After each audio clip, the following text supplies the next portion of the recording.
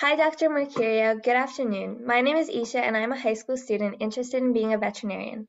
I'm so excited to welcome you to the interview series on the careers of veterinarians. Thank you so much for joining us. Let me start with an introduction of our speaker today, Dr. Mercurio. Dr. Mercurio is the owner of City Kitty Veterinary Care for Cats, a feline-only practice in Providence, Rhode Island. Dr. Mercurio graduated from the University of Minnesota College of Veterinary Medicine in 2008. She worked at a feline-only practice called the Cat Doctor and Friends in the Los Angeles area before moving to Rhode Island in 2009 and starting at City Kitty, where she had been ever since. Dr. Mercurio is married and has two daughters. She also has two handsome kitties named William and Thomas, in addition to a large flock of chickens and some beehives. When not at work, she loves spending time with her family, traveling, and teaching spin classes. With that short introduction, let me extend a warm welcome and thank you to Dr. Mercurio for chatting with me today. Greetings, everybody. Thank you so much, Esha, for that nice introduction. Uh, as you said, my name is Dr. Sarah Mercurio, and I'm thrilled to be here speaking with you today about veterinary medicine and my personal journey and experiences both in becoming and being a veterinarian. So first, could you tell us about the type of work that you do? Feel free to use your slides or any visual aids that you want. Absolutely. So a um, little bit about me and what I do. This is the lobby of the feline practice that I now own in the heart of Providence, Rhode Island. As you can see just from the first couple of pictures, we are not your typical veterinary practice. uh, but before I speak about what I currently do, I just wanted to give you a little background information about my, my veterinary medicine journey and how I ended up as a practice owner. So before I got accepted to veterinary school, I really thought I wanted to be a large animal vet. So I decided that I would seek out a local large animal vet and see if he would allow me to ride in his truck with him for a day and see what it was all about. Well, I only needed about an hour or two to decide that large animal medicine was not for me. So I ended up getting a position as a kennel assistant during the summer between uh, before my uh, final year of undergrad. I just really wanted any experience I could get. And boy, did I get it. I cleaned that entire practice from top to bottom every day. This picture obviously is not actually me, but you get the idea. Even though it was really hard work, I learned that I loved what happened in small animal practice and that it was much more my speed than large animal practice. I found myself especially drawn toward cats. This is a picture of Winslow, who's one of my favorite patients. Um, after graduating with my bachelor's degree from UC Santa Barbara out in California, I decided to take a year to work in an animal hospital and be sure that it was what I really wanted to do. I was hired at that same practice, but this time as a veterinary technician. This was one of the best choices I could have made. Gaining experience as a vet tech has been invaluable to my career. While I was in school at the University of Minnesota, I kept my mind open as to what career path I might want to take. However, I kept finding myself being drawn to feline medicine. The more I learned, the more I realized that I really wanted to work in a practice that was exclusively feline. So, against the advice of some of my professors, I elected to not do an internship, not go into a practice that did both dogs and cats, but to go straight into exclusively feline practice. And I've not regretted it for one second. Feline practice is absolutely wonderful. Cats are complex little creatures and they do not let on that they are sick until they are often critically ill. That's what makes this job so interesting. I've heard many specialists say that uh, general practice is boring and that is absolutely not true. No two days are alike in general practice, and we get to see and do a little bit of everything soft tissue surgery, anesthesia, dentistry, dermatology, oncology, cardiology, neurology, lots of internal medicine, behavior, the list goes on. Here are a few pictures from City Kitty. Um, this is one of our exam rooms, and my associate, Dr. Palmer, is examining a patient with the help of one of our technicians. If you look closely, this kitty has a housemate that's also there for an appointment and decided to, jump up on the exam table at the same time to provide moral support to her, her housemate there. Uh, this is a cat neuter in progress. This is myself and Chris, one of our technicians. Uh, here I am cleaning some kitty teeth. You can see the dental radiographs that are displayed on the monitor in the background there. We do a lot of, lot of dentistry in feline practice. This is our x-ray room. Uh, our technicians take the radiographs and then they review them to make sure the images turned out okay before having the doctor come and examine them. So they are taking taking the kitty out of the carrier. They've got all of their protective gear on and then looking at the images on the screen. This is our cardiologist doing an echocardiogram, which is an ultrasound of the heart on one of our patients. He comes every week and does um, ultrasounds of the heart and the abdomen for us. so City Kitty is a bustling practice. We're located right in um, the heart of Providence in one of the more affluent areas. We're lucky that most of our clients are willing and able to allow us to provide the highest level of care for their cats. So I figured uh, maybe I would walk you through what a typical day in our practice looks like. Um, so I arrive around 8 a.m. and immediately get handed a stack of records that have my lab results from patients that I saw the previous day. I start reviewing them and making decisions as to next steps to be recommended, medications to be prescribed, etc. During this time, all of our surgical patients are being dropped off, as well as some patients for what we call drop-off appointments. That's a service that we provide in order to be able to see sick cats when we don't have room for our regular appointments in our regular appointment schedule. So those cats get dropped off in the morning and we examine them in between the normal appointments. And then we call the owner, recommend a treatment plan, and proceed. And then the owner can just pick them up when it's convenient for them that day. So here's a cat getting dropped off and coming on into the practice. Once everyone's dropped off, the technicians um, begin the process of running any pre-surgical blood work that needs to be done on the surgical patients for the day. Uh, so this is a picture of some of our in-house laboratory equipment, and this is Jill, one of our technicians, getting everything set up and starting to run the lab work for the day. Once everything is complete with the lab work, then we begin surgeries. And on an average day, we'll do between two and six surgeries. It's usually two dental procedures and then a combination of spays, neuters, mass removals, cystotomies, which are like bladder stone removals, uh, et cetera. Lots of different things that we do. Here's a cat getting its blood drawn, oh so calmly.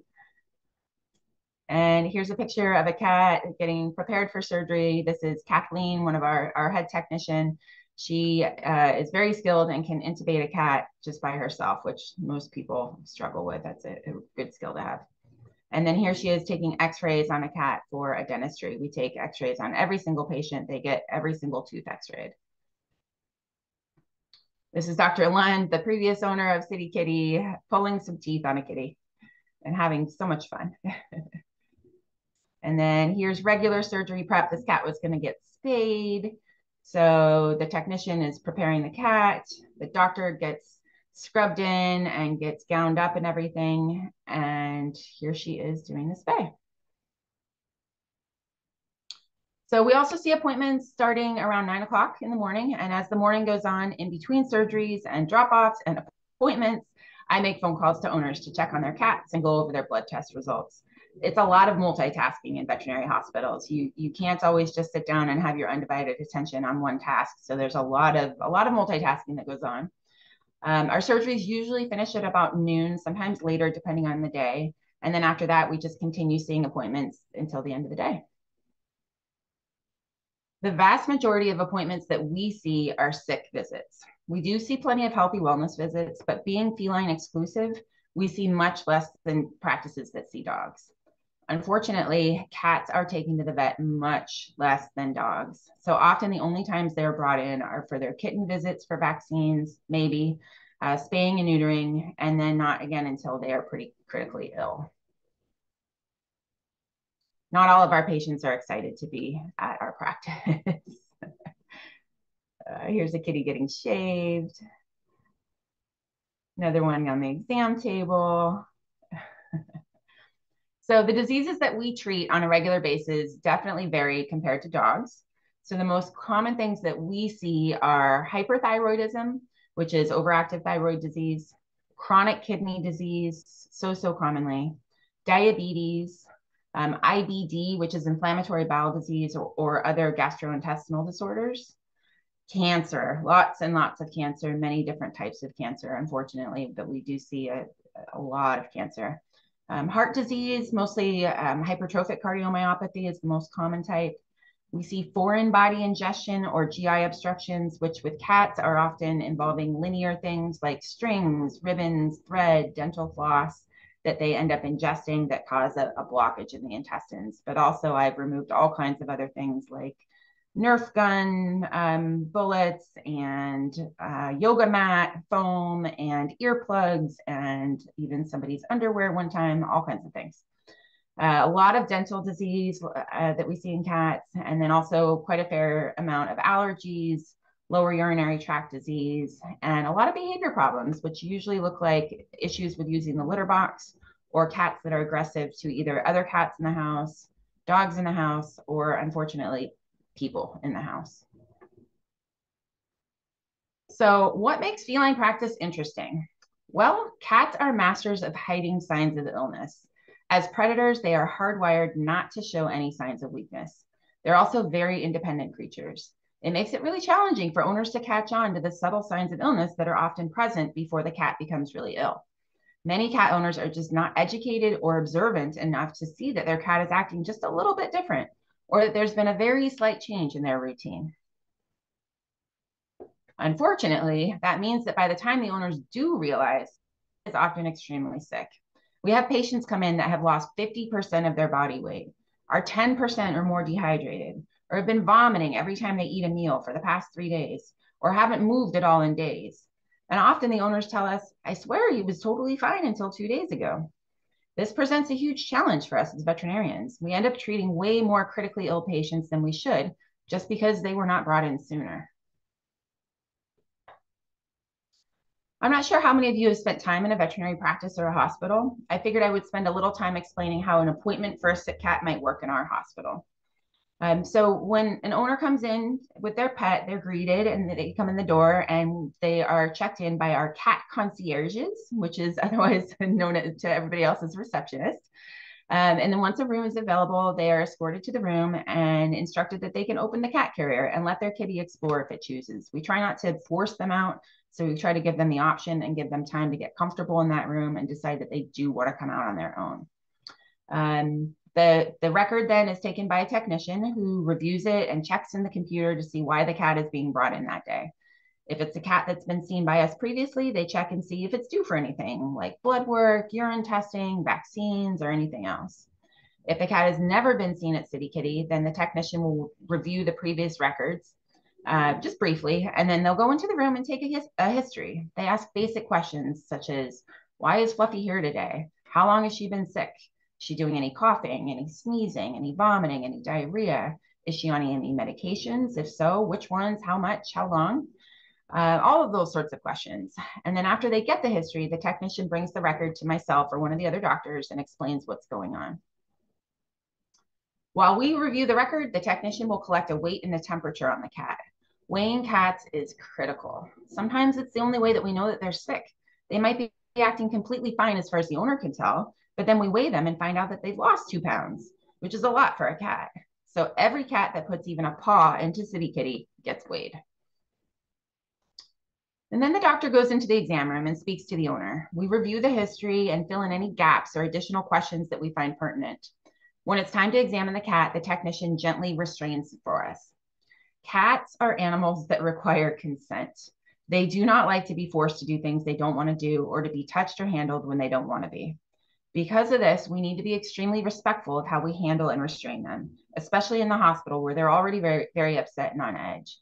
We use utilize kinder, kinder and gentler restraint techniques. We don't scruff cats, we don't pin them down, we don't handle them roughly ever. Believe it or not, most cats will tolerate much more than you might think if they're handled correctly and appropriately. being a feline only practice, our technicians are masters at this. They're experts at reading feline body language, and know how to move their hands and touch the cats in just the right way to make them feel secure and comfortable.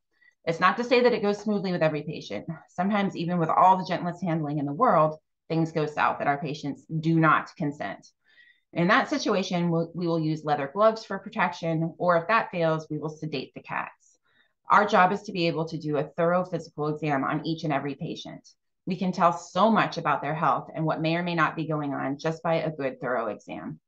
Therefore, if that can't happen, we strongly feel that it's better to go ahead and sedate the patient rather than send them home because everybody knows they do not want to come back again another day.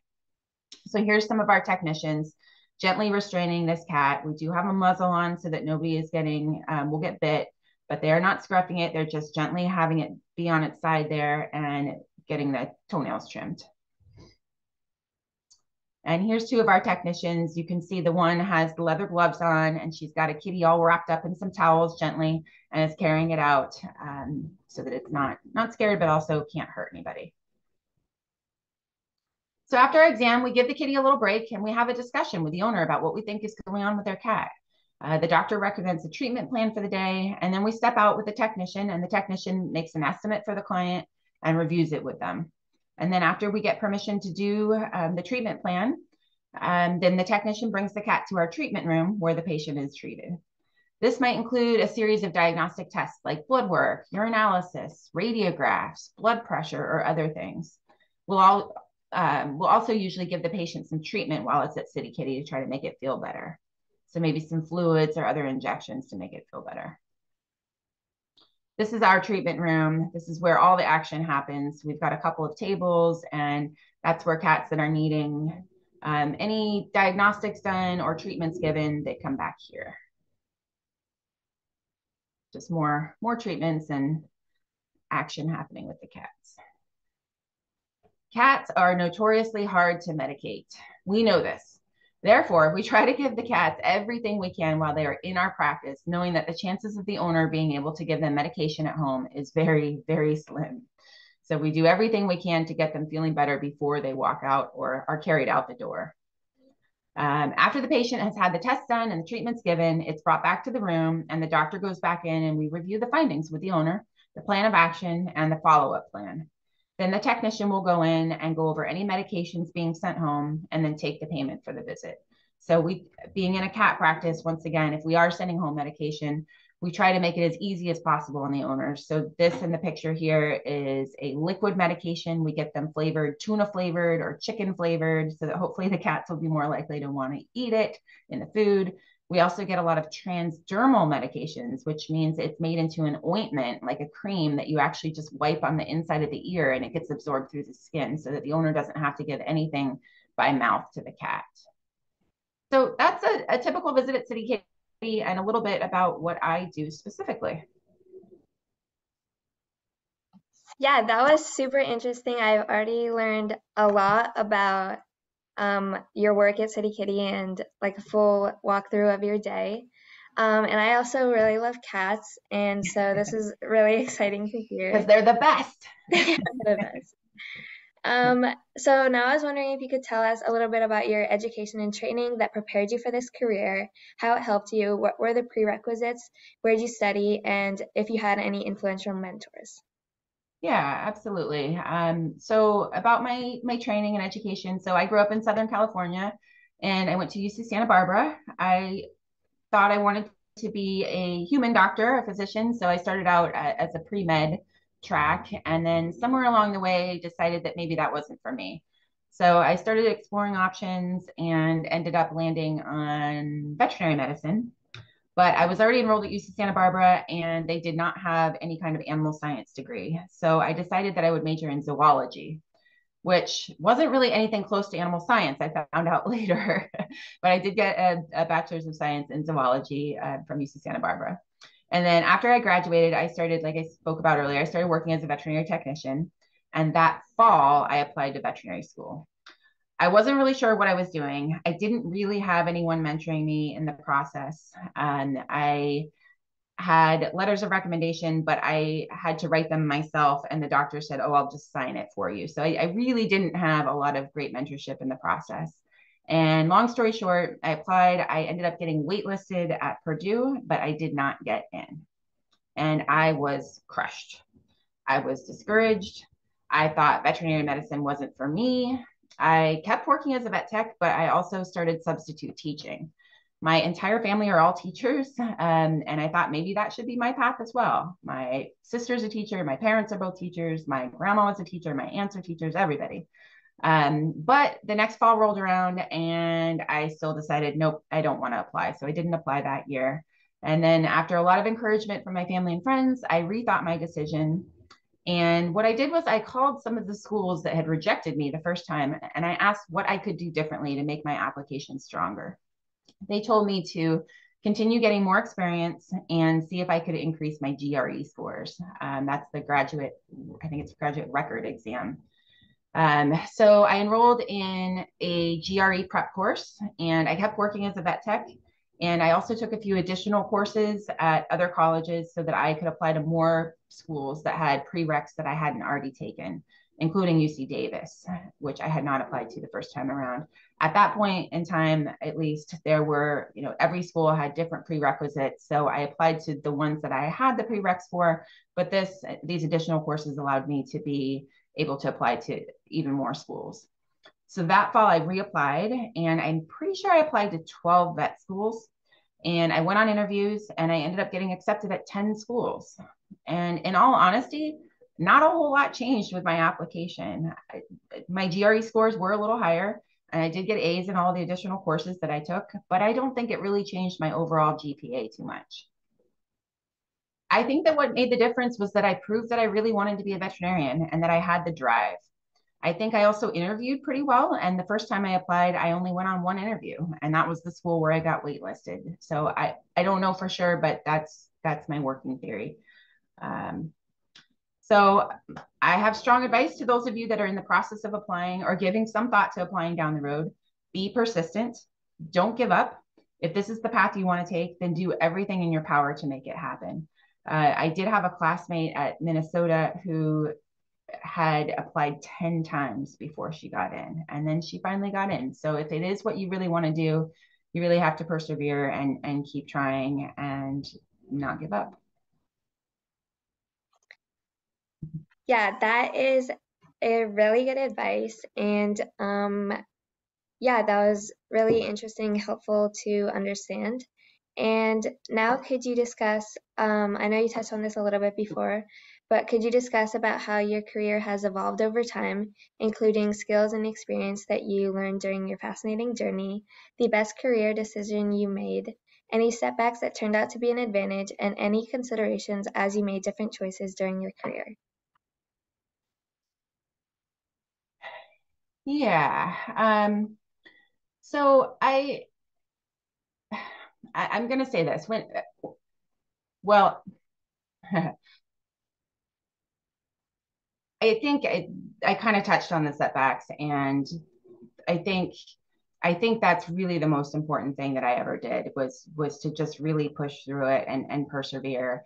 Um, and I I knew that that's what I wanted to do, and deep down in my mind, I knew that all along. And I you know, I, I wasn't used to failing. And I think that's probably the case for most people that are listening to this recording is you're probably all really good students. I suspect most of you have not failed too much and you've all done really well in school and everything else that you chose to pursue along the way. And I think it's it's hard to get, get a rejection like that. And it, if this is really what you want to do and this really really is kind of your your dream I, I hate to say that word that was a word that people threw at me all the time during that process and i started to hate that word but if it really is truly your dream and you really can't imagine yourself doing anything else then you really do have to persevere and you you have to do your do the work and put in the effort and, and find out what can make you a better applicant and, and keep trying um, because once you're in and, and once you get through the process then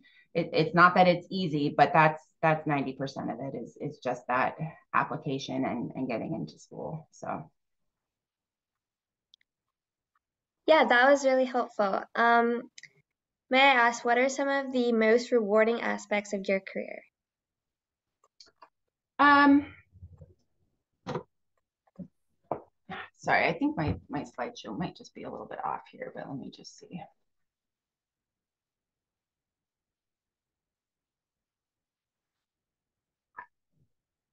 I'm going to just just go through this part because I have this slide, and then I'll, I'll touch on that if that's okay.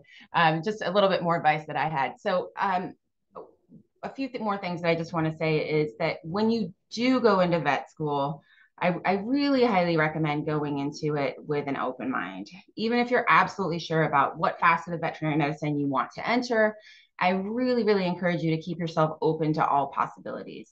It may be that you just haven't yet been exposed to the area of veterinary medicine that'll be your perfect fit. So, um, as I said earlier, it became clear to me when I was in vet school that I really wanted to specialize in just cats. I not only really loved cats, but I really loved feline medicine. And for me, feeling confident enough about this choice to go straight into feline only practice was the best decision I could have made. I immediately started gaining experience in my field of choice. I started at a very busy practice where from day one, I was seeing lots of complicated cases and doing almost all of the surgeries that they had every day. The hours were really long and grueling, but I'm so thankful for that first year. I learned and got to do so much, and it made me a much more confident vet than I likely would have been in a slower practice or one with um, less mentorship. Um, so, did you ask about the career evolution? I apologize um, out of alignment here. Yeah, yeah, you can. Uh... talk about that, and then I have a, a, couple a couple other slides on it. But um, so I, I think I, I, did talk a little bit about it, but um, these were kind of the steps that I took toward becoming a veterinarian and then eventually to being a practice owner.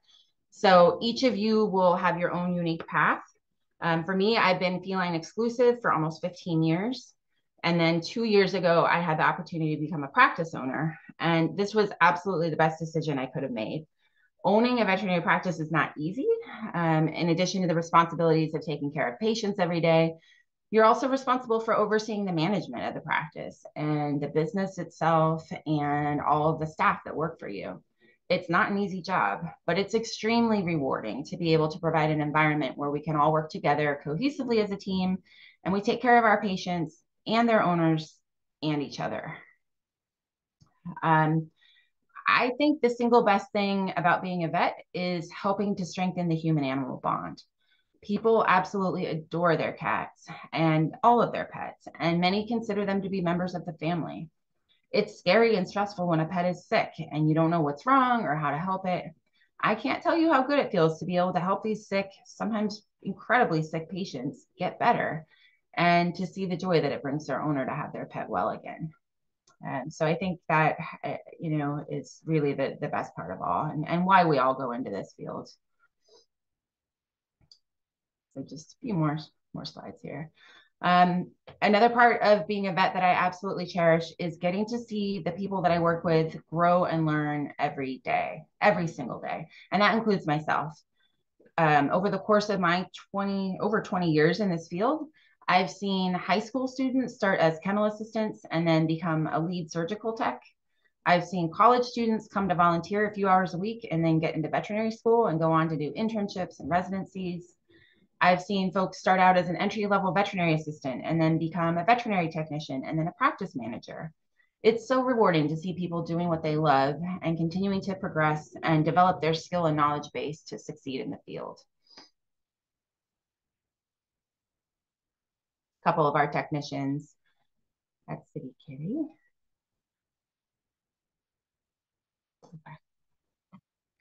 Yes, those are some very good points that you have pointed out. And um, I was wondering, I know you touched on this a little bit before, but if you want to tell me about what students can do in order to prepare to become a vet. Sure. Um, well, I had a few things, if it's okay, if we can um, just talk about how the profession has changed. Is that okay? Talk about that first? Okay. Um, so I just had a, a, few points to talk about just what I've seen as far as the profession and how it's changed. Um, so this first one here, it's something that's been gradually happening over maybe the last 50 years, honestly. So when I was in school in the early 2000s, this was already very much the case. We had a class, I think, of about 100 students, and I think of the 100, only 12 were male. and as time goes on, we're seeing the previous generation of veterinarians start to retire now and the profession as a whole is now becoming majority female, which is is pretty interesting. Um, another major change that we're seeing in veterinary medicine is that more and more practices are now being purchased by corporations.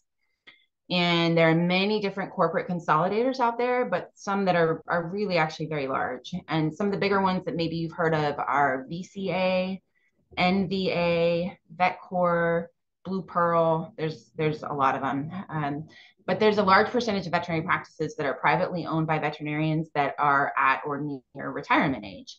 And these corporate consolidators are able to make offers to these practice owners that are exponentially higher than what they would be typically valued at, and that than any individual person would be able to pay if they wanted to buy the practice. So this is why we're seeing the percentage of, of corporate-owned hospitals continue to increase each year. So that's a big one. Um, and then the last one is, um, you know, not not super fun to talk about, but it's it's reality. And uh, veterinary medicine isn't easy. It comes with a high price tag, both literally and figuratively. The average student loan amount currently for students graduating from veterinary school is close to $200,000.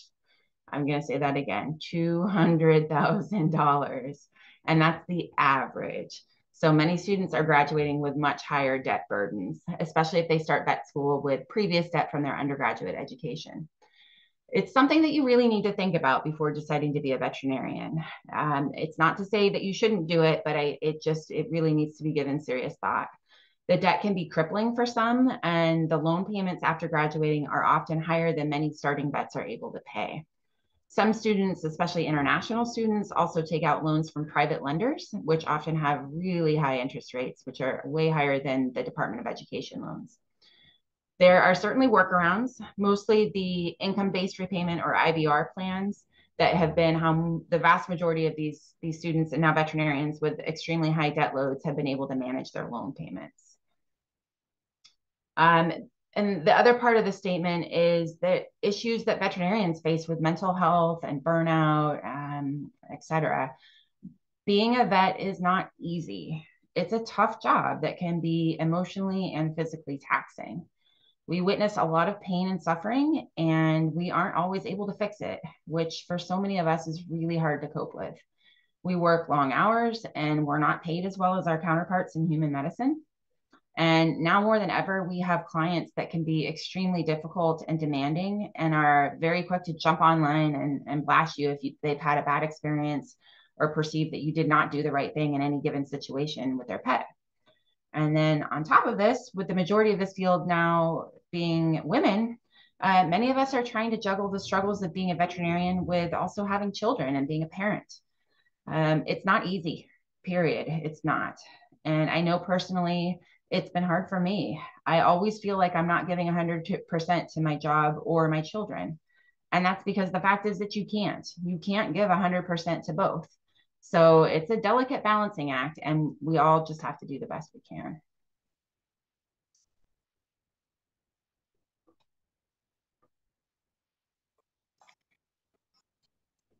Yeah, so now um, that was really good advice and that was really interesting. Thank you for sharing that.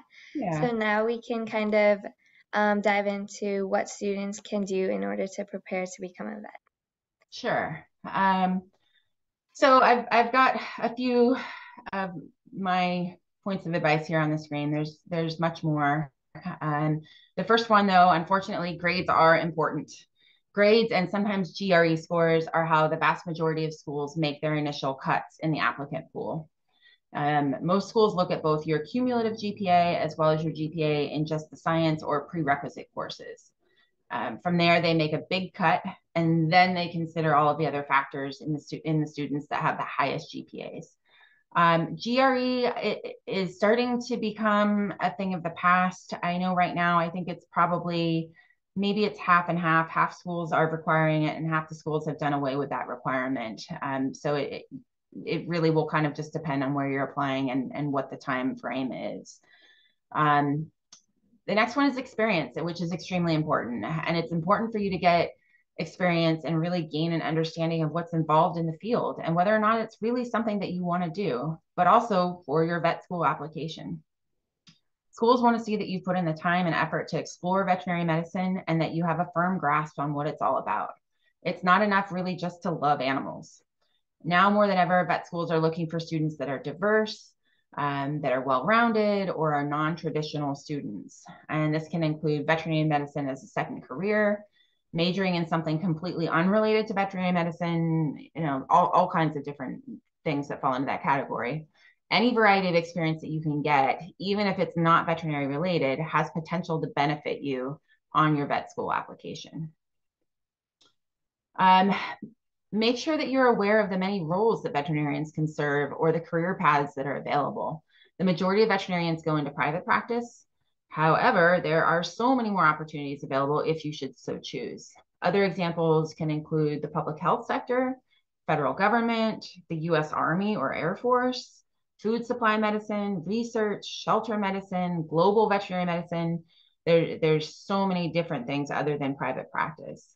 If you do happen to have uh, an interest in pursuing one of these less common sectors, it will likely give you an advantage when applying and help you stand out. When you do apply to vet school, be sure to demonstrate what makes you unique and different from the rest of the applicants. Veterinary schools receive hundreds of applications each year, some of them even over a thousand. You need to stand out. It's your time to brag and show what unique experiences or backgrounds you bring to the table that will help make you a great veterinarian. Don't be shy. Yes, that is some great advice, and that was very helpful. Um, what do you think are some of the factors to consider when choosing a vet school? So, from a financial standpoint, the best school to go to is a school in the state in which you live, hands down. This allows you to pay the resident tuition, which is considerably less than non resident. A few states have more than one vet school, just a few. Many states have one vet school, many states have none. If you live in a state without a vet school, then there's likely a contract between your home state and one or more vet schools in neighboring states to assist you. Sometimes this means a certain number of seats are reserved for students from your state, or sometimes there's a program in place where the first two years of school are done at a school in your home state without a full fledged veterinary medicine program. And then you transfer to a vet school in a neighboring state for the second two years. These are called two plus two programs. And um, there's more and more states that are doing this. Um, some that I know of are Idaho, South Dakota, Alaska, and Nebraska. They all have two plus two programs, but I think there's more. Um, if you're considering choosing a school that is not in your home state, then I will highly encourage you to look into whether that state has an option for out of state students to become residents. This was the case for me. I opted not to go to UC Davis, where I would have paid resident tuition. And instead, I chose the University of Minnesota, which meant that I would be paying much more in tuition. However, Minnesota had a program in place where a student could attain residency after a year of being in the program if you were also employed simultaneously um, somewhere in the state. So I worked part time as a vet tech throughout vet school, and that allowed me to become a Minnesota resident and pay resident tuition for three out of the four years, which saved me literally tens of thousands of dollars. So if you are considering a school that's not in your state, please do your research and look into whether schools um, that you are considering have a residency option. I do think that those are starting to go away. A lot of schools are getting rid of that. So they there may not be too many that still allow that at this point.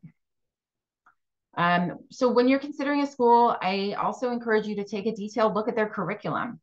When I was looking at veterinary schools and I went on interviews, I was especially especially impressed with Minnesota for many reasons. Uh, the main thing that I liked was that the students received hands on training with animals starting day one. And that was extremely important to me. At some of the other schools that I looked at and interviewed at, students didn't even touch an animal until their third year. Uh, I also wanted to make sure I got a good amount of surgical experience on actual, real, live animals as opposed to cadavers or animal models students start performing surgeries their third year at Minnesota and do not just spays and neuters, but they do gastrotomies, intestinal resection and anastomoses, cystotomies, all kinds of other things. And um, it's also important to think about whether you might be interested in small animal or large animal or zoo animal or public health or whatever. You may not know yet. And as I talked about earlier, that's totally fine. But if you have a strong feeling that maybe you're never going to be touching a cow, then you may want to look at the small animal caseload of the school that you're applying to and see, you know, who has a higher caseload in their small animal hospital. And but same thing if you are wanting to focus on large animal or production manager or production production animal or whatever. Uh, a few other things to think about. Some schools have tracking, and this means that the students make a decision about what type of medicine interests them, like small animal, food animal, equine, and then they take courses and rotations that help them gain more experience in those areas. Usually, tracking happens in the second half of the curriculum after everyone has already taken the basic science and diseased animal classes. For me, I really liked being in a school that tracked as I didn't have to spend time in my fourth year doing equine internal medicine and large animal surgery or other rotations that wouldn't pertain to my specific career path. Uh, but many schools do not do that. So it's just something to look into. Uh, another big thing to look into is whether a school has a teaching hospital or uses a distributed model for students during their clinical year. This is pretty important. So most of the older what, what's called land grant schools that have been around for a long time have teaching hospitals on campus. And in a teaching hospital, almost all of your core, meaning required rotations, which are usually during your fourth year, are done on site with specialists that work at the vet school. And then your elective rotations, or they're called externships, are done at private practices or other places of your choosing. And there's usually a handful of those. The newer veterinary schools that have opened do not have teaching hospitals.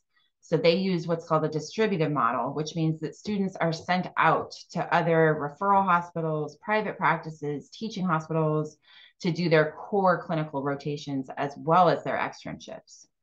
Neither one of these is better than the other. There are pros and cons to both, uh, but I encourage you to look into this and give it some thought as it can result in two very different vet school experiences, especially during your fourth year. So just really something to think about, especially now more than ever. There's a lot um, of newer veterinary schools that have have opened or are in the process of opening, and they are all using the distributive model.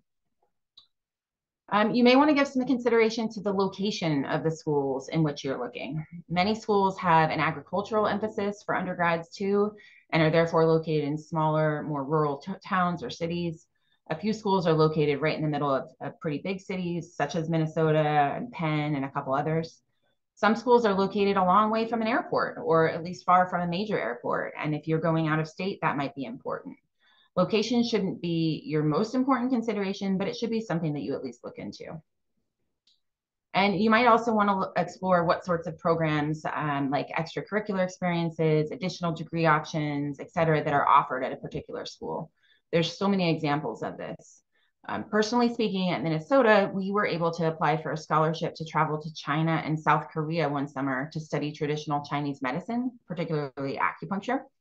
And our entire month long trip was paid for. It was such an incredible experience. I had classmates that also went on RAVS trips, and RAVS stands for Rural Area Veterinary Services. And th- this involves students traveling to remote areas where residents often didn't have access to basic veterinary care. And they were able to participate in spaying and neutering of pets and provide other basic medical services everybody that went on those trips, I never did one, but they all loved them and they got great surgical experience and really got to participate in hands on veterinary medicine the entire time. Uh, our school also had a really strong dual DVM MPH, which is a Master's of Public Health program. And we had often 15 or 20 people in each class that would enroll in that program. So just these are all things to think about when you're trying to decide what school to apply to. Um, and then hopefully which school to attend if you have some choices keep in mind, um, I will say every school in the United States and Canada is accredited by the AVMA. And that means that they have met a set of 11 standards put in place by the AVMA to, to ensure that every student graduates competent to start working as a veterinarian from day one. There's a lot of other international schools that are also AVMA accredited. If a school is not accredited, it doesn't mean that it's not good, but the steps to be able to work in the United States are much more involved. So I just encourage you to do your research and give it a lot of thought before deciding to go to a school that is not AVMA accredited.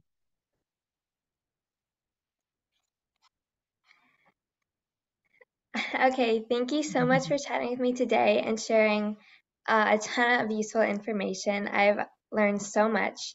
Um, you have such a rewarding career, and I wish you continued success. Thank you. And I just want to say thank you so much for putting this presentation together. It's been such an honor to be able to speak to you. Um, I really wish all of you the best in your um, your career progress, going through the application and interviews, and hopefully getting into school and getting through school and choosing your career. Um, this is such a great idea, Esha. I'm, I'm so impressed that you have put all of this together. Um, I did put my contact information here, so if anybody did have any questions or want to contact me, feel free to. Um, and of course, I had to include a couple pictures of my my precious cats here. These are my personal cats.